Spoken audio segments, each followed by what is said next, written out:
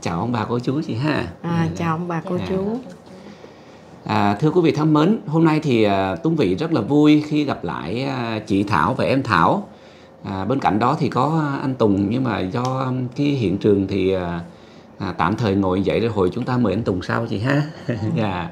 Thì Tuấn Vị xin giới thiệu là um, trong thời gian qua thì chị Thảo có lên chương trình để ờ, kiếm hai người em nhưng may mắn là đã kiếm được ờ, em Thảo. Đây là sinh vào cuối năm 1979 lúc đó thì ờ, em Thảo còn sơ sinh. Nhưng mà may mắn khi lên chương trình thì cũng có những cái mối liên quan tới bác sĩ Quế cũng như là tới những à, cô chú mà trước đây đã làm ở trong bệnh viện của thời năm 1979 đó. Thì à, qua cái sự nhiệt tình của trong đội ngũ bác sĩ cũng như là y tá thì à, đã lần ra manh mối cho nên là đã kiếm ra được à, em Thảo à, dành tràng vỗ tay. Dạ. Thì thưa quý vị cách đây khoảng một tuần thì đã diễn ra một cuộc đoàn tụ rất là vui cũng như là cô chú anh chị và giới thiệu đến cho những bà con tròm xóm với trên cái phương diện là em Thảo đã kiếm được gia đình. Trong cái sự vui mừng đó thì hôm nay chị Thảo và em Thảo cũng như là anh Tùng có xuống nhà Tuấn Vị chơi và ngoài ra nữa thì ừm, dường như là chị Thảo cũng có muốn trao đổi thêm một số điều gì đó thì à, giờ đây à, chị Thảo gửi tới cô chú anh chị những à, lời chào cũng như là nói lên cái à, tâm tư và nguyện vọng của mình chị ha Ok. Dạ. À, trước thì cũng à, kính chào ông bà cô chú trên cộng đồng mạng.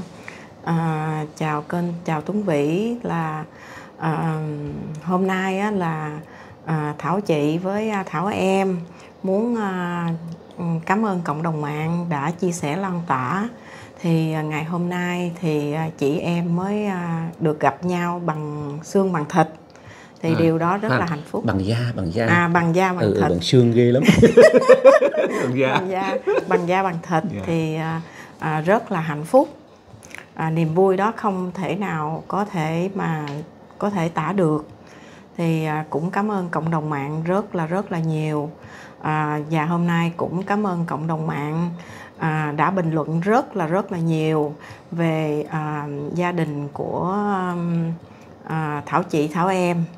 Là à, à, cảm ơn ông bà cô chú chứ không biết nói gì hơn nữa. Tại vì à, rất là nhiều bình luận nhưng mà không có làm sao mà để trả lời hết. Dạ. thì à, trên cộng đồng mạng rất là à, nhiệt tình Dạ. à, Hôm qua đó thì nghe Thảo em nói là ừm, rất là nhiều bình luận mà thấy Thảo chỉ là đọc hết tất cả các Đọc bình luận đó phải nói rằng là đọc cho khoa mắt luôn hả chị? ừ, đọc hết Dạ. chị đọc hết Tiếc một cái là để mà có thời gian mà trả lời hết là không có trả lời là không trả lời chị ha. được Dạ. cho nên hôm nay mới à, à, Tuấn Vĩ mời đến đây để biết cái thành phố Sa Đéc Dạ. rồi à, biết nhà của Tuấn Vĩ thì à, sẵn cái cơ hội này đang có dịp ở đây thì à, muốn lên chia sẻ để cảm ơn cộng đồng.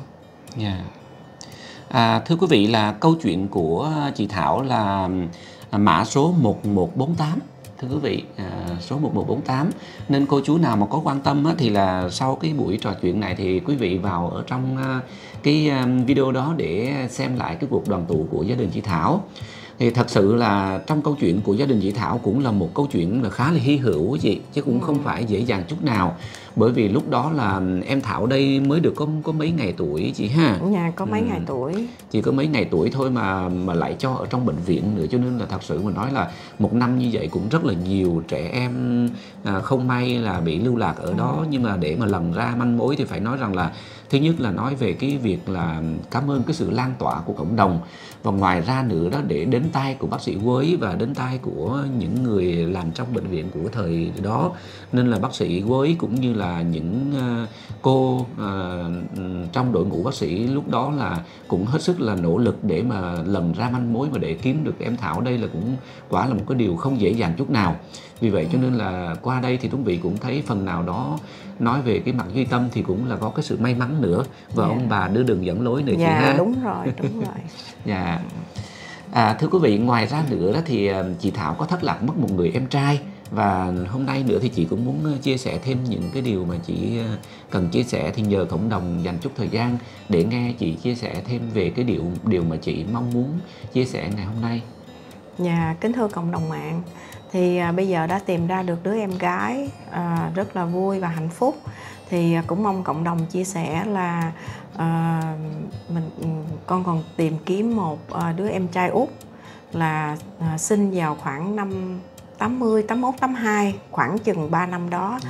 Tại vì à, mẹ ừ, không cái cái cái tinh thần của mẹ cũng không có ổn để nhớ chính xác năm nào. À, thành ra là cái đứa em đó hồi đó là mẹ cho ở uh, xe nước mía nằm ở cuối chợ Phương Lâm vào thời điểm đó. Ừ. thì uh, trong thời gian qua suốt một cái uh, đoạn đường mà con cũng đã đi tìm kiếm mà cũng có người uh, giúp con tìm ra được uh, cô mà nhận đứa em bé đó. Vào thời điểm đó là cô đó là cô Quy. Nhưng mà đúng là cô có xác nhận cô có nhận đứa em bé vào thời điểm đó. Nhưng mà vì em bé khóc quá cho nên là à, cô đã cho một cặp vợ chồng nào đó thì à, cô không có nhớ tên thì à, cô chỉ cho cái à, à, nội dung là như vậy thôi. Thì cũng mong rằng là nếu cô quy có thật lòng cô có thật nuôi đứa em trai đó thì cũng xin cô mở lòng cho chị em con được biết nhau. À, hoặc là cô chú mà đã có nuôi em trai đó vào thời điểm đó có nhận từ cô Quy à, bán xe nước mía ở cuối chợ Phương Lâm thì cũng xin cô chú mở lòng cho chị em tụi con được à, được gặp nhau biết nhau yeah. chứ cũng không có uh, đòi em lại hay là gì hết hay bắt em gì hết yeah. dạ thì cũng mong cộng đồng uh, chia sẻ uh, lan tỏa để tìm à, được đứa em trai út này thì yeah. đó là niềm vui đó không thể nào à, có thể tả được. Yeah.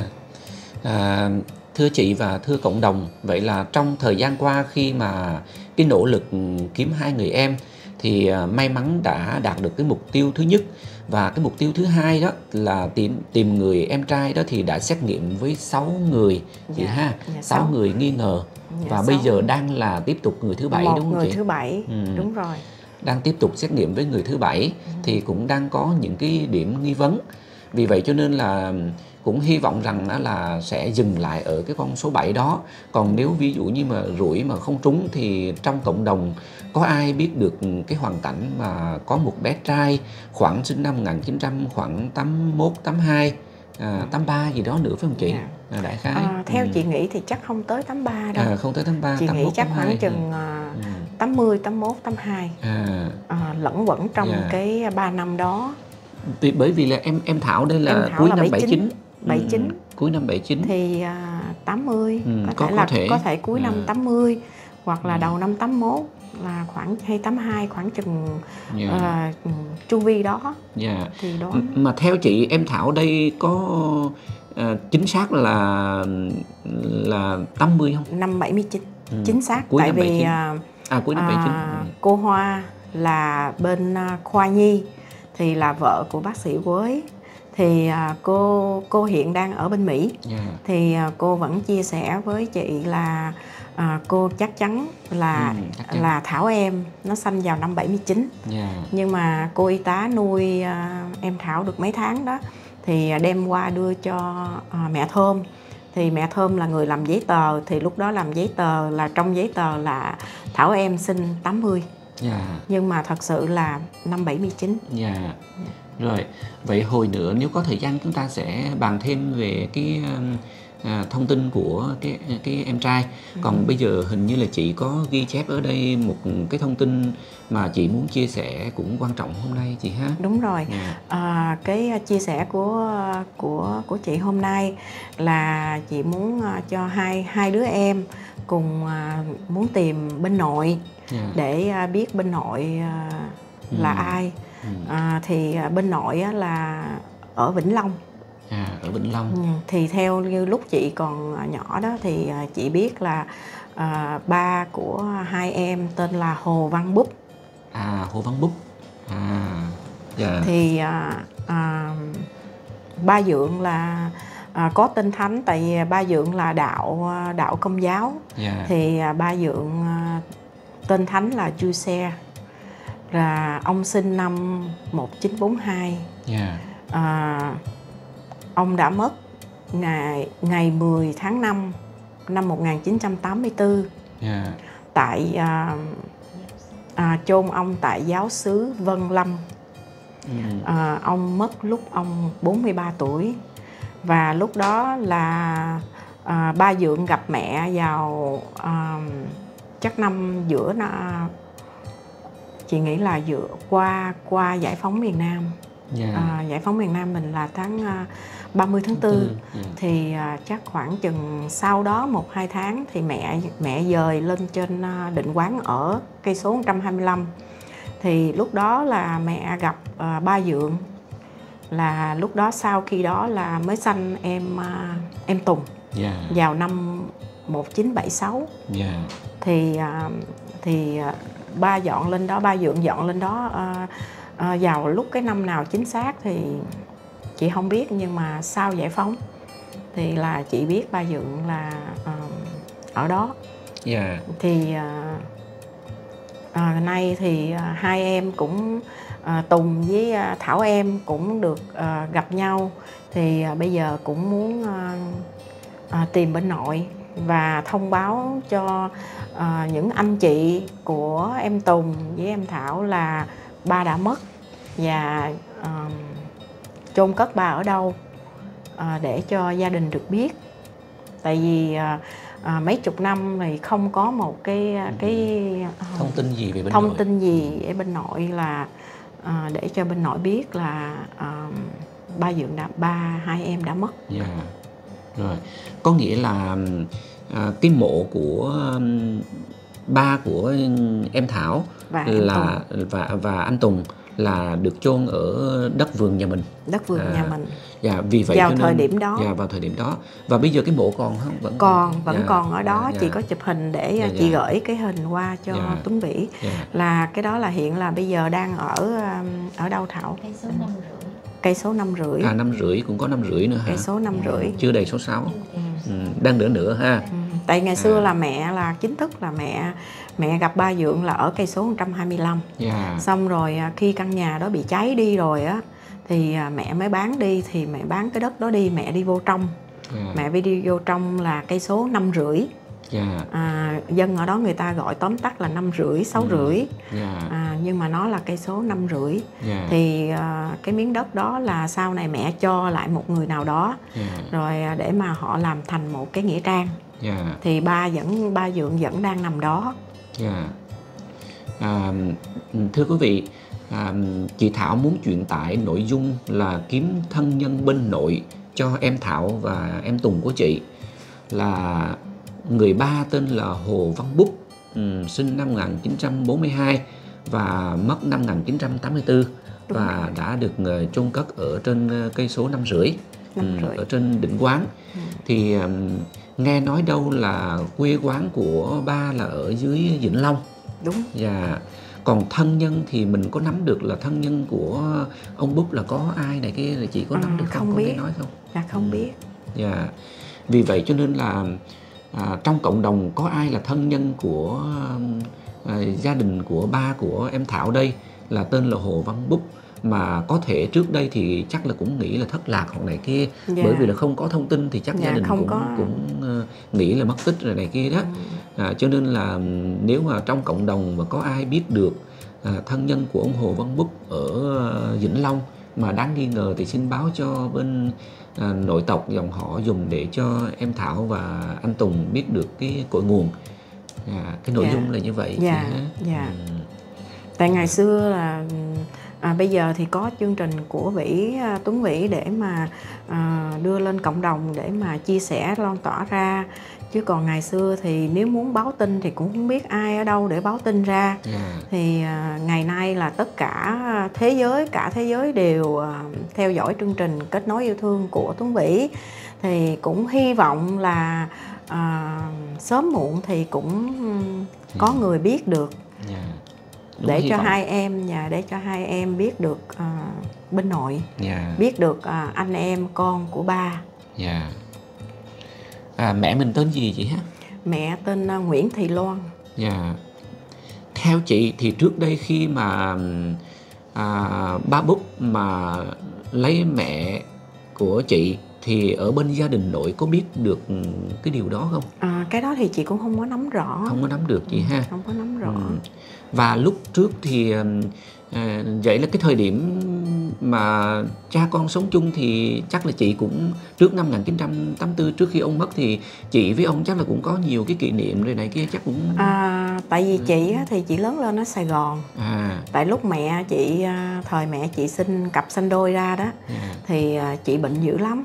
Cho nên mẹ của mẹ nuôi của mẹ đó mới thấy chị bệnh nặng quá mới ẩm chị về Sài Gòn để chạy chữa. À, nhưng mà khi lớn lên thì à, chị không chịu đi theo mẹ nữa. Ừ, mà chị muốn sống với ngoại ngoại Dạ, nuôi à. ở Sài Gòn cho lớn Ừ. lên cho đến ngày chị đi Mỹ. Dạ, cho nên lúc ông mất thì chị đã có mặt ở bên Mỹ rồi.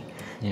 À, Ồ, vậy hả lúc chị? ông mất năm 84 là chị Dạ. đã có mặt bên Mỹ. Dạ, thì à, nói chung là thời gian đi lên đi xuống ở định quán từ Sài Gòn đi lên xuống định quán và ông có đi lên trên Sài Gòn mấy lần thì chị cũng có ấn tượng à, biết mặt biết mặt à, ba dượng nhiều lần. Dạ, à, nhưng mà bây giờ nếu mà chị nhìn tấm hình của của nếu mà à, anh em của Tùng đây mà có còn tấm hình của ba dượng á thì à, chị nhìn vẫn ra. Dạ. chị À, vẫn còn có ấn tượng Ừ, à, ừ, ông rất là hiền rất là dễ thương ừ. cái gì cũng à, con gái tôi con gái tôi hết à, tức là nói chị ha à, nói chị á Ừ. dạ. hình như hồi nãy em nghe chị có kể cái chuyện là ông đi bắt lương và kêu mẹ về dạ nấu đúng cho rồi gái tôi ăn dạ đúng rồi à, ông đi à, năm 83 là lần Ừ. cuối lần cuối đó là à, chị được ăn à, cái à, cái à, cái con lương mà ông câu Ừ. thì à, chị đang đứng ăn trước thì chị thấy có người xách con lương tới rồi à, đưa cho mẹ chị rồi nói là à, ổng đưa cho bà à, đem về nấu canh chua lương cho con gái ổng ăn Ừ. đó là lúc đó là lúc đó là chưa có tìm ra được em thảo Dạ. chỉ có à, ông nói con gái là chị á Dạ. Ừ. cũng hơi tiếc một cái là cũng không biết tên của ai bên nội Ừ, không Dạ, biết bên luôn bên ông Hồ Văn Búc dạ. Ừ. thì cũng hy vọng ừ, đây là em có hy vọng Dạ. là ví dụ như trước đó ông cũng có thông báo rằng là ông lấy một người vợ Dạ. tên như vậy như vậy đó dạ hay Thì- là ông dạ. thông báo cho gia đình là ông đang ở định quán dạ thì có lẽ khi mà gia đình hay bà con dòng họ có coi được cái à, cái video này thì cũng sẽ cũng sẽ nhận ra dạ đúng rồi rồi thì trên trên tinh thần là tin nội dung là như vậy chị ha Dạ. ừ. rồi à, chắc là cho phép em cài micro cho em Thảo à, em Thảo à, cũng có đôi lời đến cộng đồng ha ừ. Dạ. rồi à, trong những ngày qua đó thì khi chị về rồi việc à, đoàn tụ diễn ra thì như thế nào cho ông bà cô chú biết cái cảm xúc chút xíu ha Dạ, em kính chào ông bà cô chú. Dạ, em cũng cảm ơn rất nhiều. À, chương trình Tấn Vĩ đã lan tỏa à, cho cộng đồng và chị em cũng kiếm được em. Em cũng hạnh phúc lắm. Chứ cũng không biết nói gì hơn.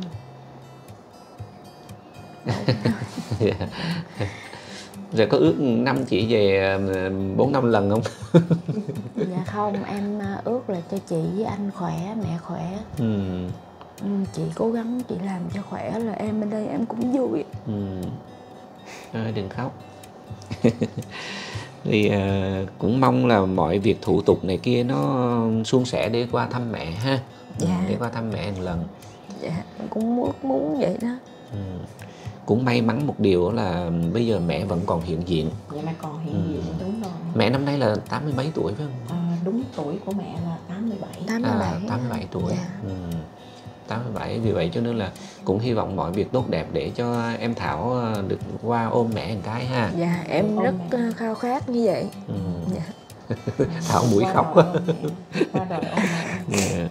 chị thì à, lớn lên mà chị thấy chị gặp mẹ hoài mẹ đi lên à, từ định quán mẹ lên sài gòn thăm hoài à Ừ. nhưng mà có một cái là mẹ muốn à, à, đem đem về để à, để ở với mẹ thì không Ừ. trốn Ừ, Dạ. tìm đủ mọi cách trốn. Ừ, sợ sợ bị bắt lắm.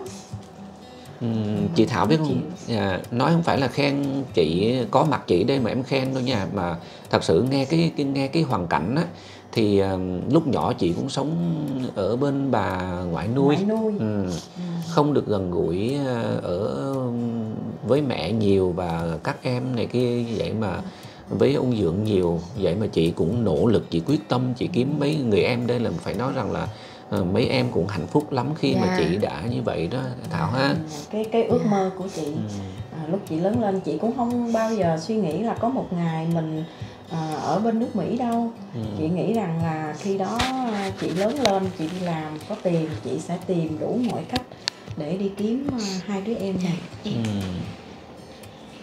em Thảo không nói nữa hả nhưng mà ngày nay hả? nhưng mà ngày nay cái sự may mắn của cái sự lan tỏa của cộng đồng với có kênh của Tuấn Vĩ thì à, mới tìm ra em được Dạ.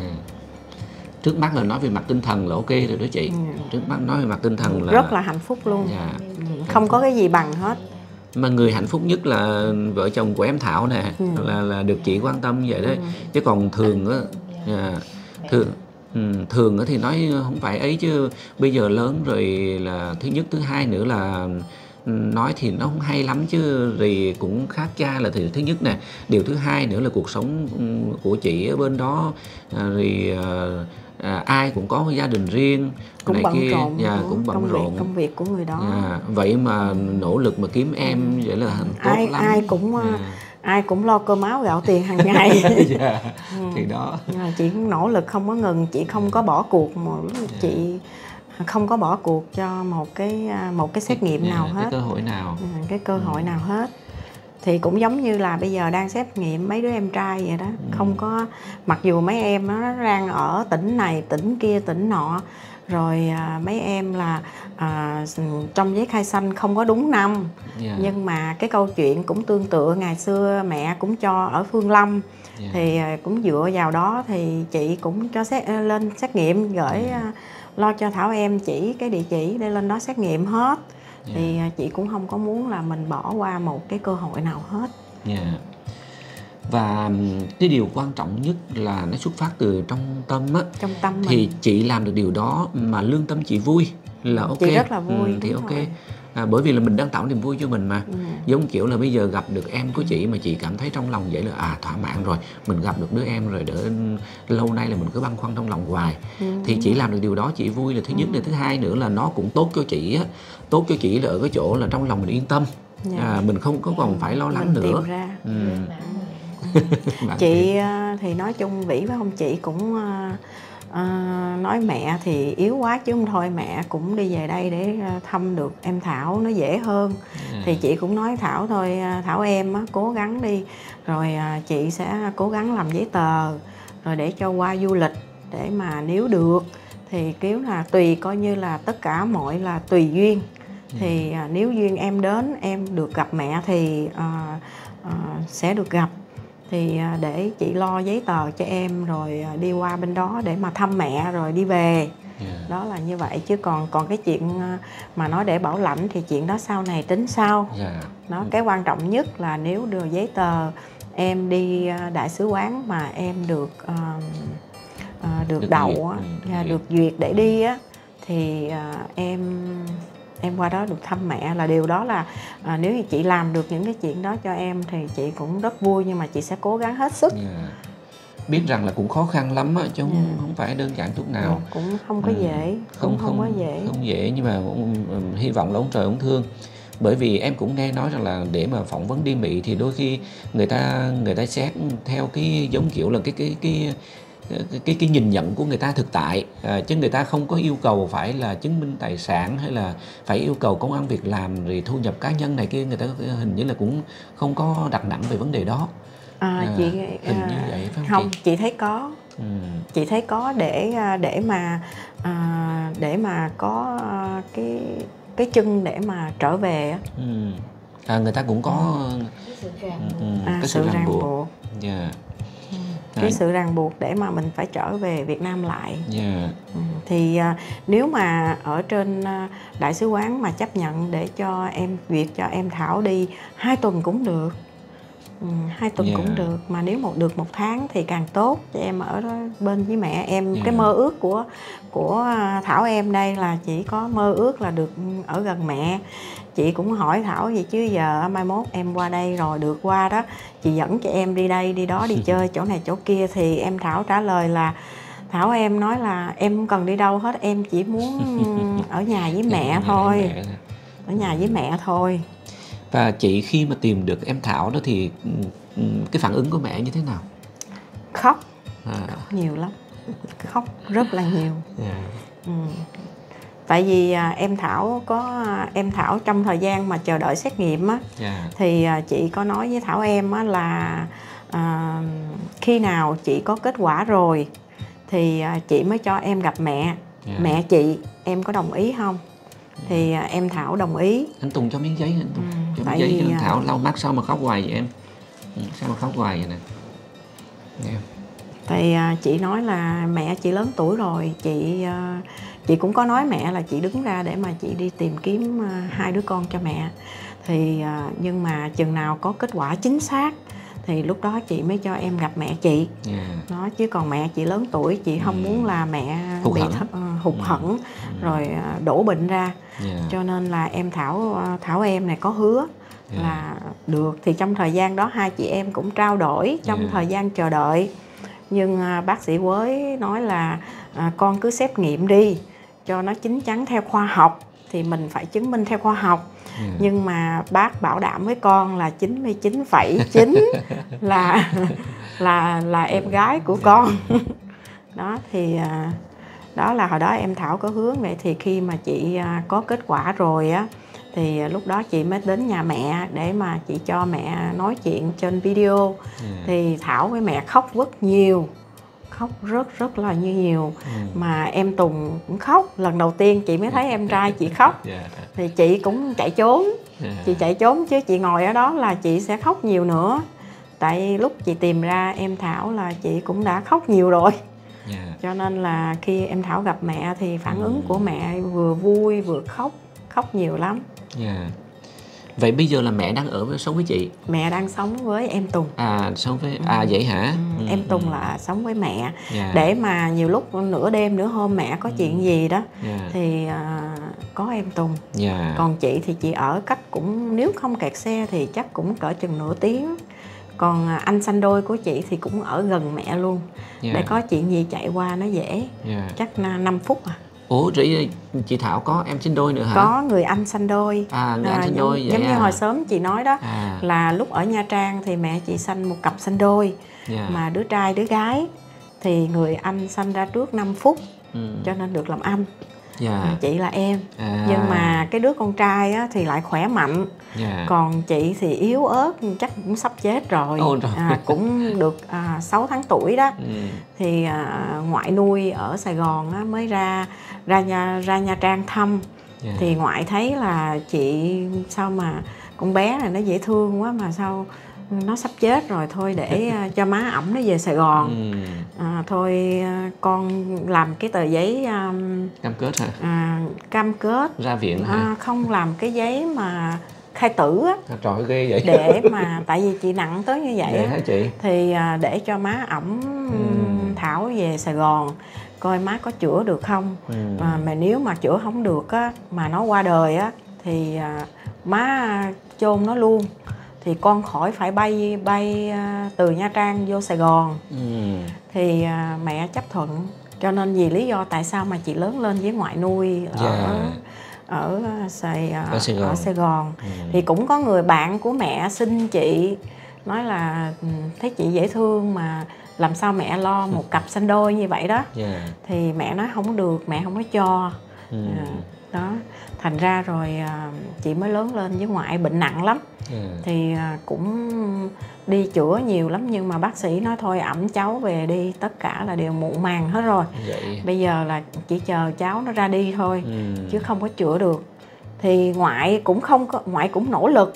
À, không biết có người giới thiệu ngoại nó thôi giờ bà bà thử um, thuốc của thầy ba cầu bông. À. Thuốc của thầy ba cầu bông là thuốc bắc dạ rồi sao ngoại cũng ẩm đi giống như là bây giờ chị cũng Cũng có nhiều cái ha. nỗ lực mà Ừ. chị không có um, à, để chị coi chị nói à, không không có bỏ cuộc á ừ. không bỏ cuộc là chị ngoại chị giống ngoại đó dạ. chị không bỏ cuộc cho nên ngoại à, không bỏ cuộc cho nên ngoại mới ẩm chị đi thầy thuốc bắc Dạ. thầy ba cầu bông thì từ khi mà chị uống thuốc của thầy ba cầu bông là cho đến là nó qua luôn dạ. cho nên chị à, Ừ. chị uống thuốc bắc cho tới chị 14 tuổi dạ. uống tới 14 tuổi luôn đó Dạ. đó thành ra là à, ở với ngoại rồi mẹ muốn đem về lại thì không chịu mà hồi đó là bệnh là bệnh gì vậy chị à, bên Việt Nam mình á, thì à, theo cô Hoa nói á, là bệnh của mấy đứa con nít như chị á, là bị thiếu thiếu dinh dưỡng à, suy bị ban ừ. bị ban xong rồi à, ngày xưa đó không có biết cho nên là cử không cho ăn thịt không Ừ. cho ăn cá bị suy dinh dưỡng rồi luôn xong rồi cái thành ngày càng ngày bị ốm rồi bị suy dinh dưỡng luôn Ừ, thiếu chất á ha, thiếu chất ha. nhà thiếu Ừ. chất ngày xưa ngoại chị nói là ngoại chị nuôi chị là à, lúc đó ngoại cứ cho chị uống nước cơm á ừ.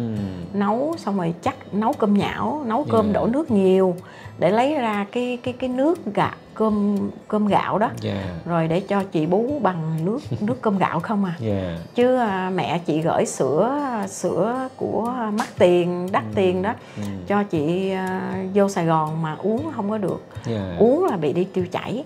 Dạ. Đó là à, Ừ. ngoại nuôi chị cũng cực lắm. Ừ. ừ, cũng gian nan lắm. Dạ. Rồi ok chị thì cùng chia sẻ chút để để ờ, cô chú anh chị chúng ta à, cùng à, hiểu thêm về cái câu chuyện của chị Thảo. Thì hôm nay thì cũng à, có hai cái mục tiêu tìm kiếm. À, mục tiêu tìm kiếm thứ nhất là kiếm người em trai à, đang được nghi ngờ là sinh năm 1980 hoặc là 81. À, còn mục tiêu thứ hai là muốn thông báo là ừ, về cái việc ừ, ừ, em Thảo với anh Tùng muốn kiếm về bên nội à, tên của ba anh Tùng và em Thảo đây là ông Hồ Văn Bông. Búp. À, à, Búp. Búp ờ, ở Búp. Dạ, Hồ Văn Búp à, nghi ngờ là ở Vĩnh Long à, quê quán ở Vĩnh Long sinh năm 1942 và mất năm 1984 dạ. Rồi. là hiện đang chôn ở à, giáo xứ à, Vân Lâm. Dạ. Ở Định Quán. Quán cây số năm rưỡi. Dạ. Ừ. Rồi thì um, anh Tùng uh, có muốn chia sẻ thêm điều gì không? Uh, chia sẻ một chút. Dạ. dạ. Dạ, hai anh em dễ khóc. Rồi. Vậy um, bây giờ chắc là chúng ta tạm thời kết thúc buổi trò chuyện hôm nay chị ha. Dạ. Dạ, thật sự là em cũng rất là vui, em không cũng không nghĩ rằng là có ngày mà chị em mình sẽ được gặp nhau tại gia đình Đúng. em. Đúng Bởi vì rồi. quả thực thì là à, tính theo cái cái góc độ địa lý thì chị ở tuốt ở bên Mỹ mà nói để mà có dịp mà về bên đây mà để chị em gặp được nhau vậy là cũng là một cái điều coi như rất là cơ quý duyên cái à, cơ duyên mà cũng không biết sau này thì khi nào mới có duyên có cái điều liên quan để chị em mình gặp nhau à, để gặp đó là lại. sự thực là như vậy đó À, Ừ. thì à, chị hy vọng là cái lần gặp lại chị em mình gặp lại nữa Dạ. là chị hy vọng là gặp à, vợ chồng Tuấn Vĩ ở bên tiểu bang chị à, Dạ. bên nước Mỹ à, lúc đó là à, Tuấn Vĩ ra đi thăm mọi người Dạ, em thì à, em lại nghĩ khác. À, cái điều đó thì thật sự là cái công việc của em nhiều để em cũng chưa nghĩ tới nhưng mà em hy vọng á, kiếm được ừ, em của chị nè, em trai của chị thì nếu mà đúng quả thực là cái duyên nó đến nó kiếm được em trai chị thì cỡ cỡ nào mà chị em mình không gặp đúng không? gặp Đúng lại nữa Thảo? gặp lại nữa Ừ. tại à, chị có hứa rồi chị có À. hứa với lòng á là à, bây giờ đi về lại là cũng 9 năm rồi. Thì à, trong thời gian tìm kiếm á, thì chị nếu như chị tìm được đứa em trai trước thì chị sẽ về trước. Dạ, mà nếu tìm được đứa em gái trước thì chị sẽ sắp xếp về trước. Dạ, nhưng mà thảo em nó cũng may mắn là nó là tìm được ra trước. Dạ. Dạ. Rồi vậy à, chị biết là chúc sức khỏe cho chị và cùng qua bên đó thì cho em gửi lời thăm mẹ. Rồi À, cũng- cảm cũng- ơn em. À, rồi mong cho mọi việc tốt đẹp cho Thảo em để được gặp mẹ một lần. Thật sự là trong lòng em em mong cái à, điều chị đó. cũng công xin như vậy Dạ. Cho mọi điều nó suôn sẻ may mắn và hơn nữa cái đó thì nó lại phụ, phụ thuộc vào bên um, cái việc mà thủ tục chứ không phải là mình muốn đi là đi giống kiểu là ở Đúng trong vậy. nước ừ. Dạ.